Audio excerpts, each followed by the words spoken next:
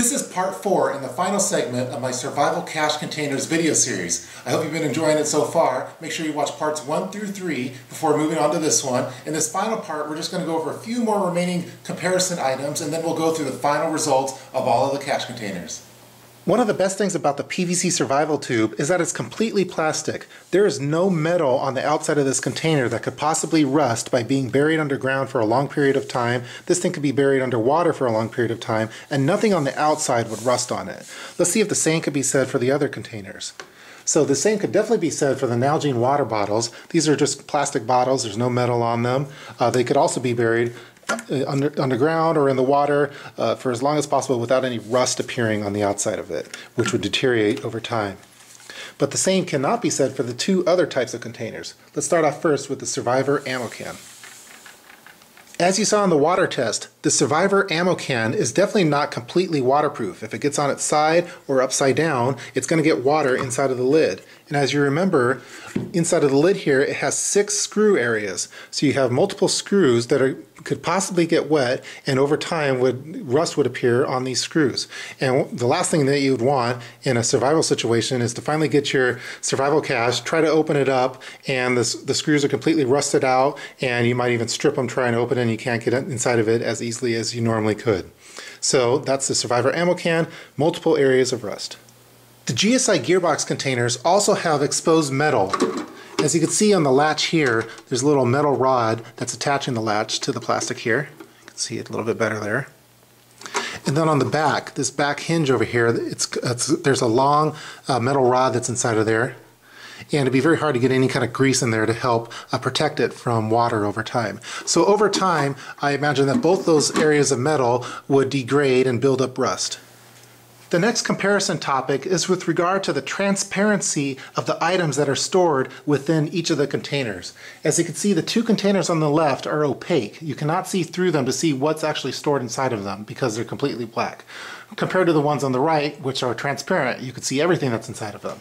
That's one of the main problems that I have with the PVC survival tube is that it's completely black. You have no idea what's inside of this. It, it could be anything really. It could be uh, water, it could be food, or it could be an explosive device, and no one really knows until they are actually to open it up. Uh, in most cases though, if this were to be caught in an urban environment and someone thought it was suspicious, the bomb squad would come out and they would have to blow this thing up and you may have some unwanted legal attention. So that's definitely something you should keep in mind when purchasing uh, a container that's opaque in design. The same thing could be said for the Survivor ammo can. And this one is a manufactured and kind of looks it, like something you haven't really seen before. It looks like a, a, trash can with a lid on it, and you cannot see what the items are inside of it. In comparison, the Nalgene water bottles are completely transparent. Anything that's inside of that, you're going to know exactly what it is. The same could be said with the GSI outdoor gearbox containers. So if you know someone happened to find this thing, uh, they would easily be able to see, oh, this there's a bunch of food and water stored in this thing, instead of some kind of mystery on what might be inside of it. So in my opinion, the pros go to the transparent containers, which you could actually see the contents inside, and it also could be used and uh, as a geocache, for example. And I think a con is just having one that's opaque in design where you have no idea what's inside of it. Uh, it may lead to unwanted attention. All of the containers have various size openings for actually placing the items inside of them. For example, the PVC survival tube only has an opening of around 11 centimeters. In comparison, an Nalgene water bottle has an opening of around 5 centimeters. So only smaller items are able to be fit inside of there. In comparison, the Survivor ammo can has a very large opening where you could fit large items inside of it. But I find for survival caches that it's best to have a rectangular container. You're able to fit a large amount of items in there that are large in size, and you're also able to organize them better because they're rectangular in shape. You could have things organized uh, very nice and neat uh, in comparison to a cylinder item, which you're going to have a lot of dead space that you're going to have to fill up with things that are uh, semi-flexible. So as far as openings go, as you can imagine, the smallest ones are the Nalgene water bottles, followed by the PVC survival tube. Uh, next, the Survivor ammo can, which has a fairly good opening, although it's also cylinder, so you, so you can't fit a completely square item in there. And the best one, in my opinion, are the rectangular GSI gearboxes. That's going to do it for all the test categories for this particular video series. So now let's go through the final results. I have all the containers organized from smallest to largest. So the smallest one being the Nalgene water bottle and the largest one being the GSI Outdoors Lexan Gearbox Extra Large. And I have the one that I felt was the winner for the particular category highlighted in yellow. So let's start here on the top. So with regard to shape, I find that having a rectangular prism is the best shape to have for a survival cache because it allows you to store things in there a lot more efficiently. It's easier to play Tetris with a rectangular uh, prism than it is with a cylinder. With a cylinder, you can have extra space that you have to fill in the gaps with. With regard to cost, this one's kind of a variable, but the cheapest one to get is a Nalgene water bottle, uh, which you probably imagine right around $9. Uh, with regard to volume, uh, the one where you have the most volume is the GSI Outdoors uh, Lexan Gearbox Extra Large at 8.34 liters. So the most important figure then would probably be the cost per liter, so the most bang for your buck. So the most bang for your buck that you're going to get is with the MTM Survivor ammo can at uh, $2.50 a, $2.56 a liter, followed next by the GSI Outdoors Lexan Gearbox Extra Large at uh, as cheap as 324 per liter.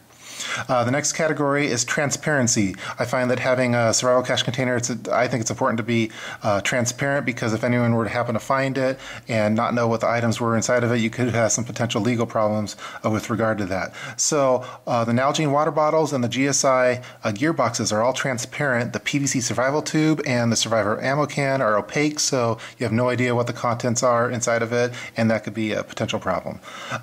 The next category is whether it is waterproof, and all of them passed my waterproof test except for the MTM Survivor ammo can, which is totally not waterproof, which was kind of disappointing. I mean, you are talking about having uh, two O-rings, having six screws, two different heads to the container, and it's still not waterproof. So that was kind of a, a big letdown. Uh, the next category is with regard to tools, or what kind of tools are required to open it. So the Nalgene water bottles and the GSI outdoor uh, gearboxes don't require any kind of tools to open it. Uh, with the PVC survival tube, if, if, you're using the plumber's tape with it, I find that you're going to have to have a wrench to open it. You might be able to jerry rig something uh, if need be, or if you're really strong, you might be able to open it. But if you're using that plumber's tape, it man, it's on there real tight. Uh, so you, you'll need to have a wrench with that, and with the Survivor ammo can, you'll need to have a screwdriver to get rid of the six screws that are on there. So if you're talking about speed, if you want to dig up something really quick and open it as quick as, quick as possible, uh, not having to re- have any tools to do that is the, the quickest way of doing that. So I find that to be a plus.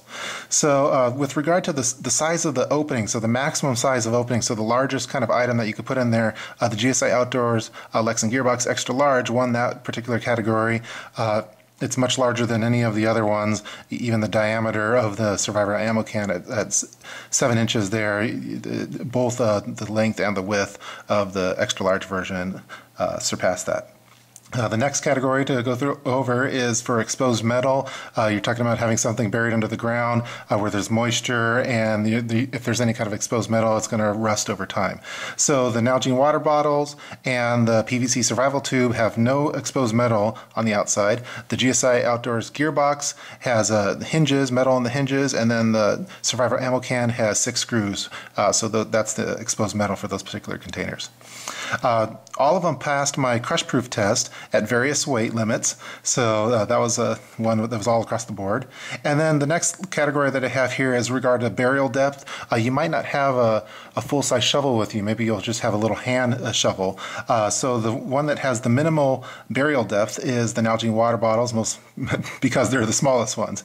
Uh, the GSI Outdoors gearboxes and the PVC survival tube both have very minimal burial depths as well. the MTM Survivor ammo can, because it needs to be placed vertically, because it's not really waterproof, that has a 13.5 inch vertical uh, burial depth minimal. So uh, that one's the largest one. So I tallied all of them up, and I have little numbers here for the amount of yellow highlights that they had. So the winners, as far as uh, the tally goes, is the Nalgene water bottle one liter version and the GSI Outdoors uh, Lexan Gearbox Extra Large, both with seven of the yellow highlights. So for this particular video series, I found that that the, the best survival cache container uh, that passed all of my tests, or that did the best with all the categories, was the GSI Outdoors Lexan Gearbox Extra Large. It is the most expensive out of the ones that were tested, but I found uh, that it was a rectangular prism, which is very easy to store items in. It has the largest uh, volume with regard to liters at 8.34. Uh, it has the second best cost per liter, especially when you find it on sale on Amazon. Uh, it's transparent, it's waterproof, there's no tools required to open it, it has the largest opening to it. Uh, it does have some exposed uh, metal, but maybe you could put some uh, grease or something on there to help to protect those over time. Uh, and it is crush proof and it has a very minimal burial depth. So I found that the GSI Outdoors Lexan Gearbox Extra Large was the best one out of the bunch for this particular test scenario. So please let me know if you uh, disagree with those results, and those are the final results. I hope that you guys enjoyed watching this video series featuring survival cache containers. Please feel free to leave any kind of comments below in the comments section. You could also download the PDF document to the Geocaching for Preppers document, which has links for all the items that you've seen in this video. So again, I hope you guys enjoyed it, and I'll see you guys next time. Take care.